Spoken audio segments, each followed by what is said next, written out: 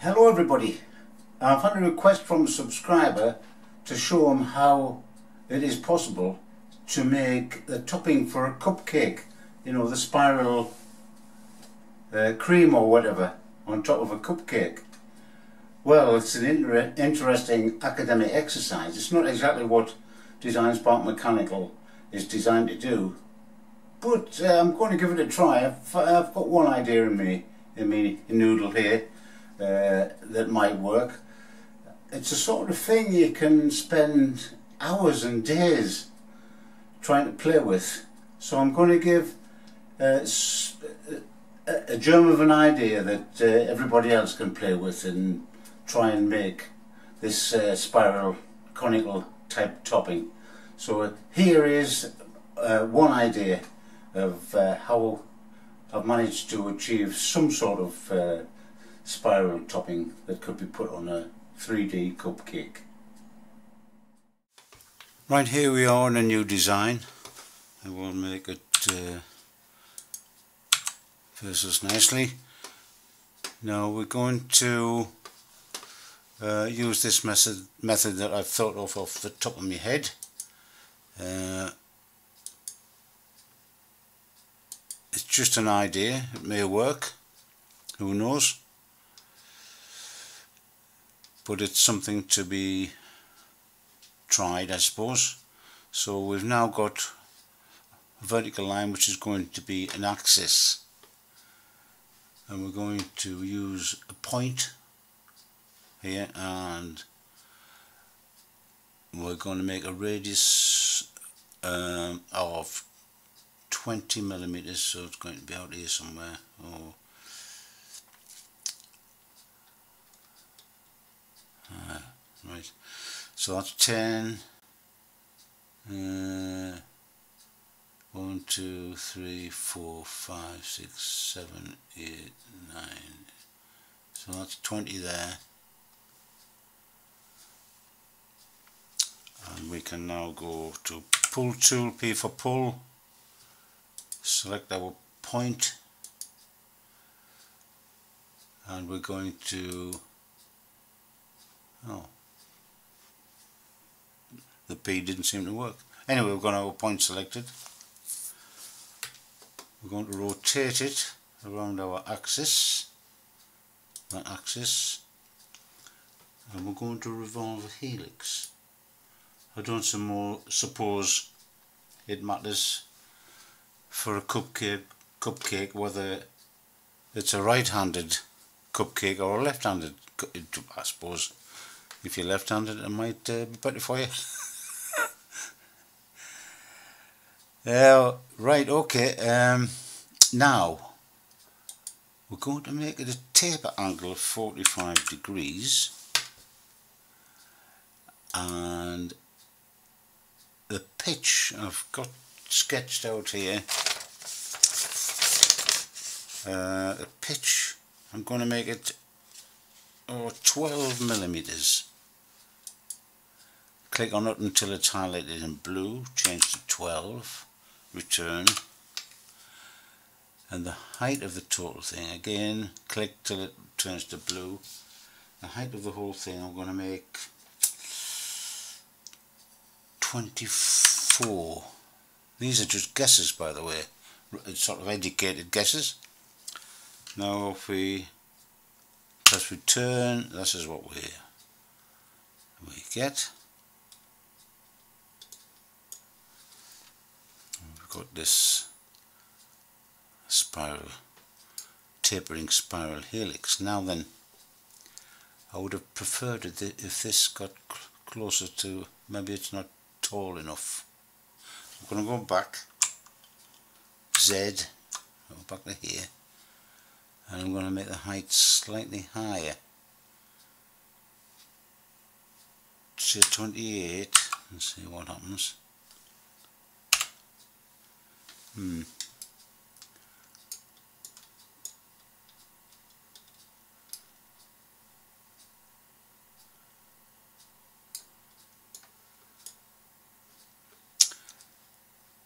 right I want this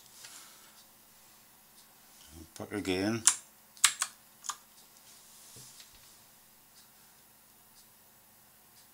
uh, pitch 12, I'm going to make that 30. Return, still nowhere near enough.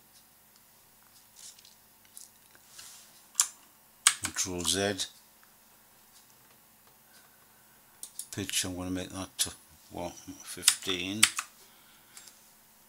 return that sets that. Click that make it 30 again and see what happens. Return.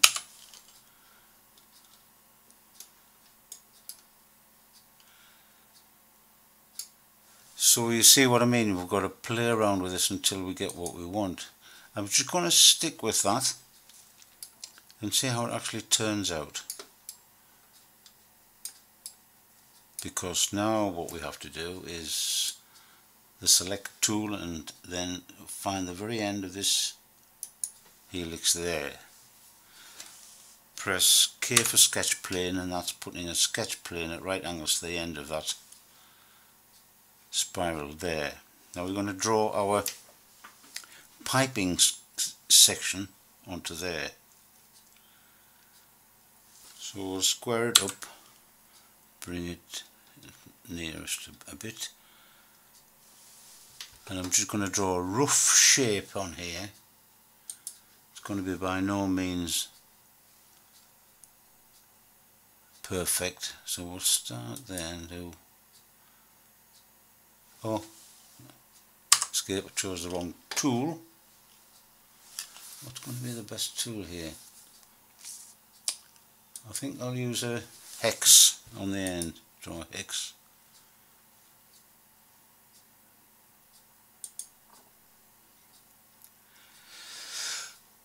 Uh, I'm going to draw two.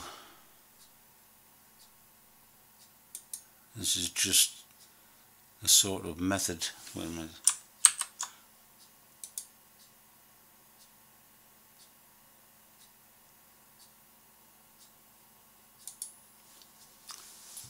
Then straight line.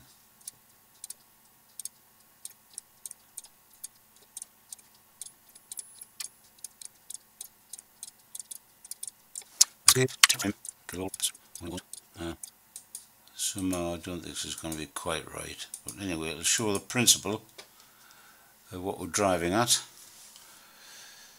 So now P for pull, uh, well, we've got this star shape. So we've got the pull tool, we select our star we're going to sweep it on an arc and this is of course going to be our arc. And we select the full pull.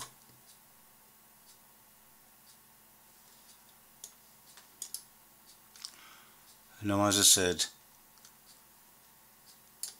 this needs to go around so it goes to a peak at the top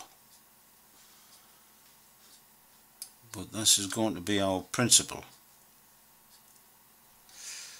Uh, two things, it's not meeting in the top and the star is not big enough. There's too much gap. Too much gap between the spirals. It's going to be something of a compromise because I think that if we're not careful, if we make this very big, one spiral will interfere with the other spiral and it'll object. The program will object and you'll find that it will not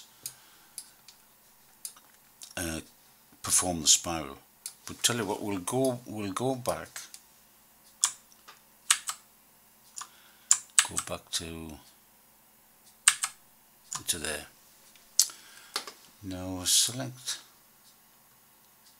the pull tool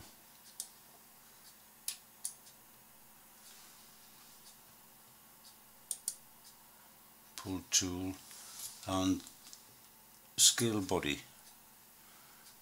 Choose a place where you want to scale it from which is there and we'll type we'll make it one point one and a half times bigger. Wait a minute. I didn't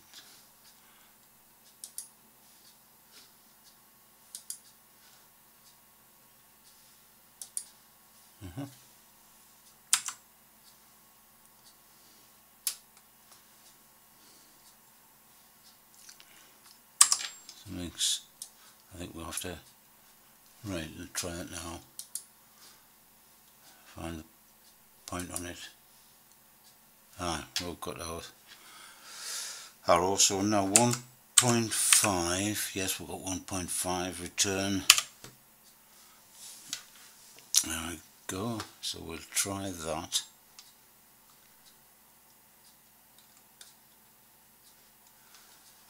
and now we're going to sweep it along an arc pick the trajectory which is that and sweep it all the way. And we're getting somewhere near it. We still can make it a bit bigger. Look we've got a fair gap here. Depending on how spiky you make this thing you'll probably get these things to be closer so I think we can make this even bigger. We'll go back.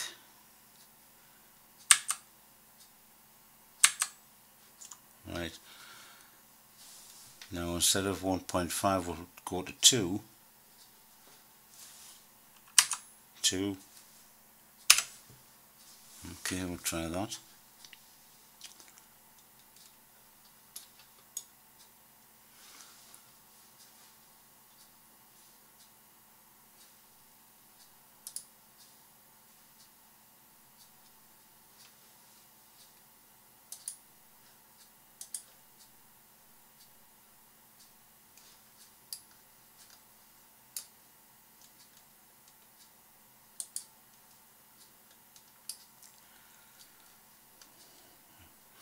Yes, we'll still sneak a little bit, but not much more. We've got a gap in here. But how is that looking uh, like a, a cupcake, cupcake top? Yeah, we really do need a bit more at the top. And of course, comes another problem of how to make it finish off here.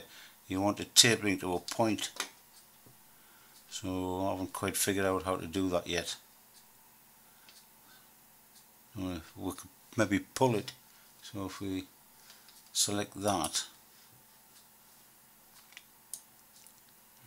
pull it is it is it going to pull? Yeah pulling. Ah. Oops. Aye. Wait a minute. Control Z. Right we've selected that now. If we select the edge as well double click now trying to pull it, should pull straight off from the edge. Yes.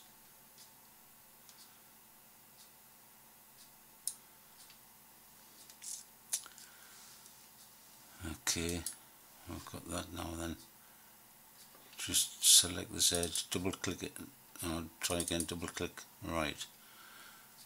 Now then, we've got, um, we'll, choose, we'll choose a, a straight chamfer.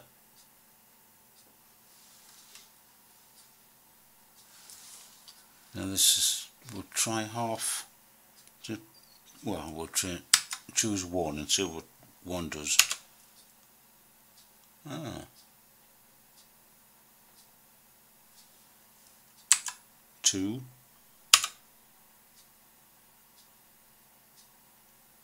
Uh-huh.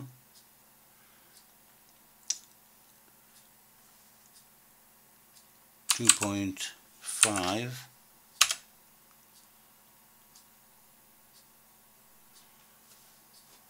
We're getting nearer to a point here.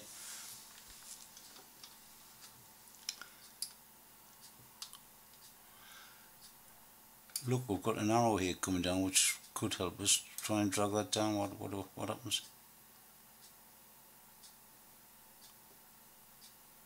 Well there you go. Gone too far. Failed to create. Onward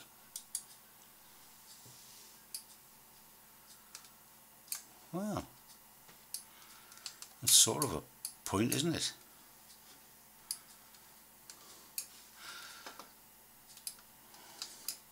Well, I suppose you could play endlessly with this. And you might want to change the colour of course, so what you do there is go to display. You want to select your solid there and there's all sorts of colours unfortunately you can't put a texture on I don't think. But you can choose a colour and up here we've got the rendering style. So we've got metallic plastic and brushed hatched. And the finished brushed I don't think that's going to work very much. According to the image I've been sent it's a sort of a, a matte white. Plastic might uh, might do it. And then the finish matte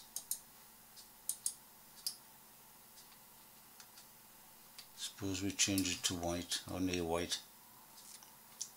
Choose the solid. Um, what, would I look like? Mm -hmm. well remember of course we're using an engineering CAD program to do something that really that it's not designed to do. This is very much an organic problem rather than an engineering problem. But it really just goes to show the versatility of it.